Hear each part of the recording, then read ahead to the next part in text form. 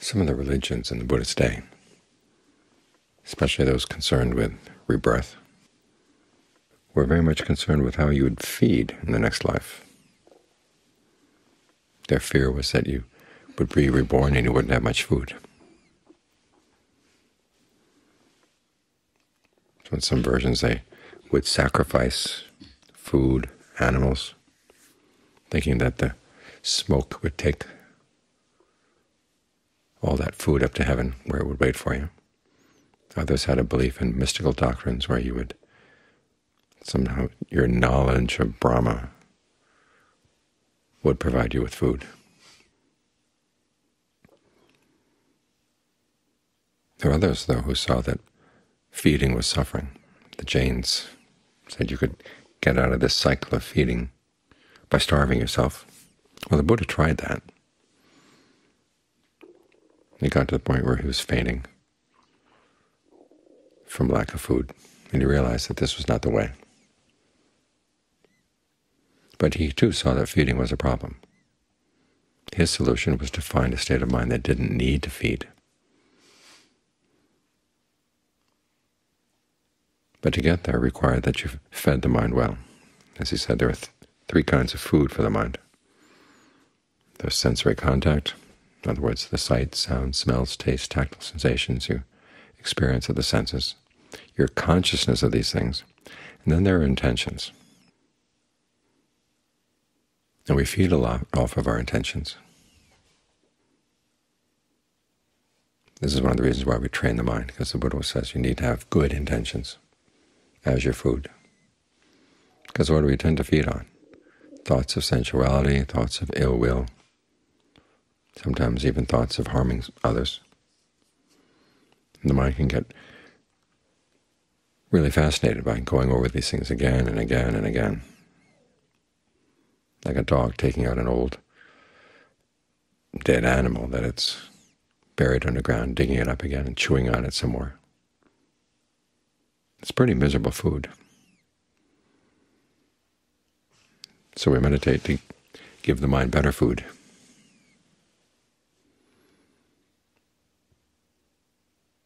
Focus on the breath.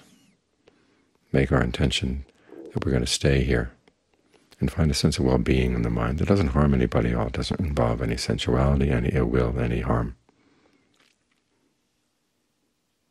What the Buddha called right resolve. Right resolve leads right into right concentration.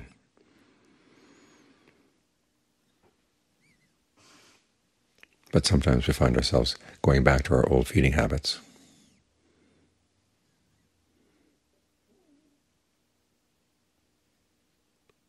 And people going on a vegetarian diet, and then finally they can't stand it any longer, and they go back and they find some fast food.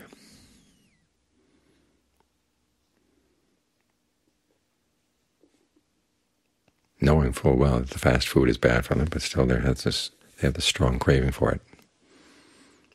So as we meditate, as I said last night, we are two activities. One is to keep the mind with the breath, and the other is to consciously cut away any interest in the world outside. And particularly want to cut away interest in feeding off unskillful, unskillful resolves.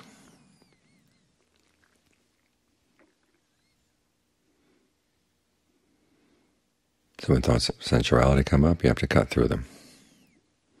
It's one of the reasons why we have that chant on the parts of the body, to remind yourself that the sensual pleasures around the body are based on what?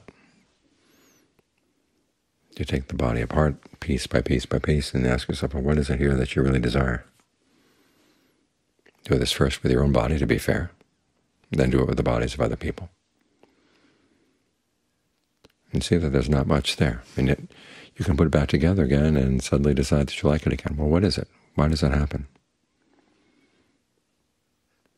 You want to look for this tendency of the mind that wants to find something that it can pin its sensual desires on. And you begin to realize it's your hunger.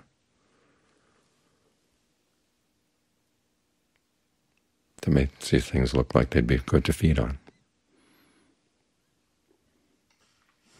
And so we're going to solve the hunger. We're going to solve the hunger by getting you to understand it, and you've got to meditate more to understand it. That brings your thoughts back to the meditation.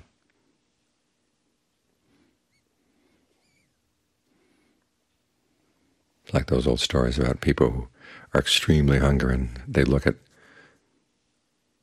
things that are certainly not food at all, and all of a sudden it looks like food to them. And that's the way it is with these things. It's the same with ill will.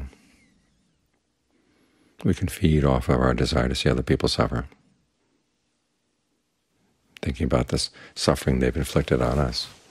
We have to realize that it's bad for us. It's, it's like eating junk food,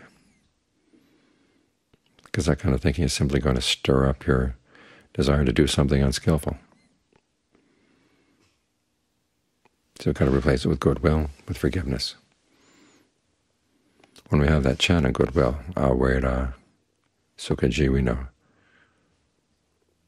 awera honto, the word wera there means animosity. Awera means no animosity. That's the Buddhist term for forgiveness.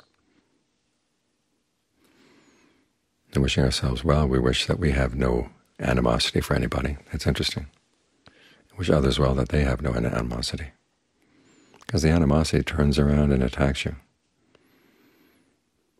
It's like the kind of food that may taste good, but it gets down into your stomach and can just eat right through your stomach wall.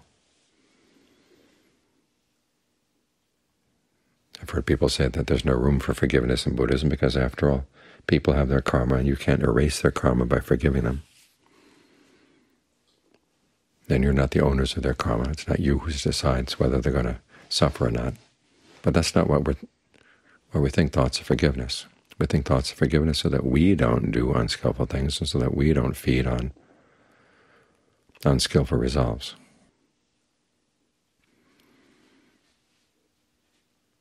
And then we're not feeding on these things, and the thoughts of going back and doing ill to those other people just don't occur to us. So both sides benefit. But you have to remember that the forgiveness starts because you need it. Because you're going to make yourself suffer otherwise if you feed off of ill will. And the same goes for thoughts of harm. Instead of just hoping that harm comes to others, thoughts of harm say, well, I'm going to do it. That's really bad food.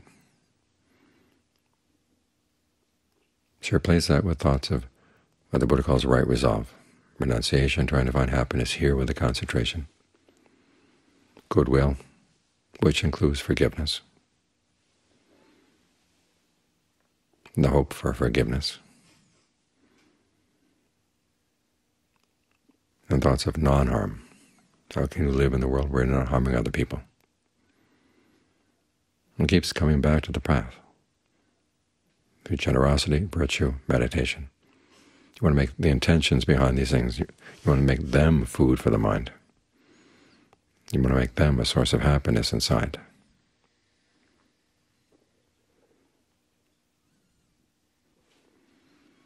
So it's important that we look at how we feed our minds. When you find yourself getting obsessed with a particular kind of thought, ask yourself if someone could take a picture of this how my mind looked like when it was feeding this way, what it would look like. What kind of animal would it look like? What kind of human being would it look like? Is that what you want to look like?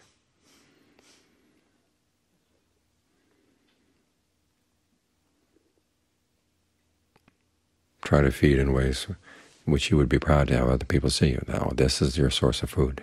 This is how you nourish yourself. Then in nourishing yourself in the right way, this is how you find the strength to do good, both for yourself and for others.